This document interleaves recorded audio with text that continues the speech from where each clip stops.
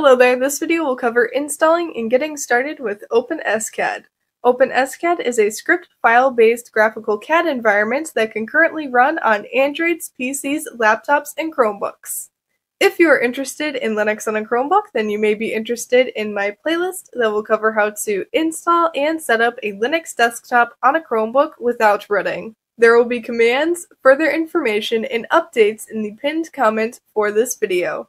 Before we install OpenSCAD, I will give a brief summary of going from a 3D model to 3D printing the model. First, we start with creating the 3D model with some type of CAD software such as OpenSCAD. After we've created the model, we export it as an STL file. STL stands for stereolithography. From there, we open the STL file in a slicer to prepare the model for 3D printing by making configurations based off of the printer and the model we are printing. Once we've done that, we export a G-code file. G-code stands for geometric code. That G-code file is what the 3D printer uses to print the model out. When looking for 3D printers, Creality in particular makes high-value 3D printers. Now to install OpenSCAD, we can use Synaptic, which we can open up from the menu. And in the Preferences category, we can click on Synaptic Package Manager. When Synaptic is open, we can click on the Reload button to get an up-to-date list of the available software in Synaptic. When Synaptic is done reloading, we can click on the Search button and search by name for OpenSCAD.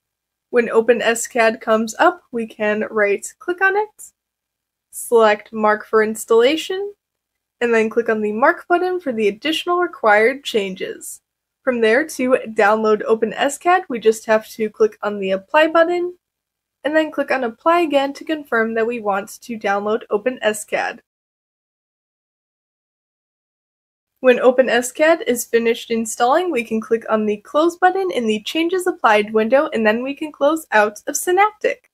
Now we can open up OpenSCAD from the menu, and in the Graphics category, we can click on OpenSCAD. In the Welcome window that comes up, we can open up an example from under the Examples section by clicking on any of the pull-downs, select an example, and then click on the Open Example button. In OpenSCAD, we can close out the Console, Error-Log, and Customizer windows to make more room for the window showing the 3D model. Note that we can open the windows that we closed from the Window menu, and then uncheck any of the boxes for hiding the windows that we closed.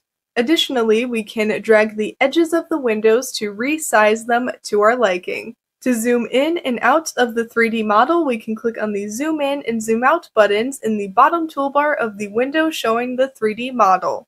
To rotate, we press down on the mousepad with one finger and then we drag another finger on the mousepad to rotate the model. We can also pan the model by pressing down on the mousepad with two fingers this time, and then we can drag another finger on the mousepad to pan the model. As a short example of using OpenSCAD, I'm going to go to the editor window and I'm going to change the color of the cubes from red to purple.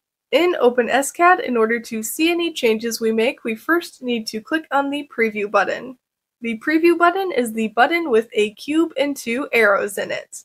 After I've clicked on the Preview button, we can see that the color of the cubes have changed to purple. To export a 3D model as an STL file that can be opened in a slicer for 3D printing, we first have to go to the editor window and click on the render button. The render button is the button with a cube and hourglass. After clicking on the render button, a loading bar on the bottom right will show the progress. Now depending on the project size and the device, render time may vary. When the render is done, we can go back to the editor window and click on the Export as STL button. From there, we can navigate to the desired file path, name the file, and then click on the Save button.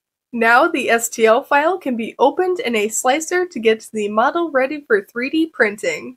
For more information about OpenSCAD, there's the official OpenSCAD website, which is openscad.org. Here they have downloads available cross-platform for Linux, Windows, and Mac OS. They also have news on what's new with OpenSCAD as well as documentation and tutorials in the form of books, videos, and articles. If we scroll down to the bottom of the documentation page on the OpenSCAD website, we can click on the cheat sheet to get a quick OpenSCAD reference. We can also print the cheat sheet to PDF like I am doing here. After I've printed it to PDF, I am opening the cheat sheet with QPDF Viewer where we now have a cheat sheet available offline. Finally, for more help and documentation from a terminal, we can do OpenSCAD space dash dash help, or we can do man space OpenSCAD for a more detailed help. If you enjoyed this video, then you may be interested in the companion book to this video, the Chromebook Guide to Google Linux. And other than that, see you soon!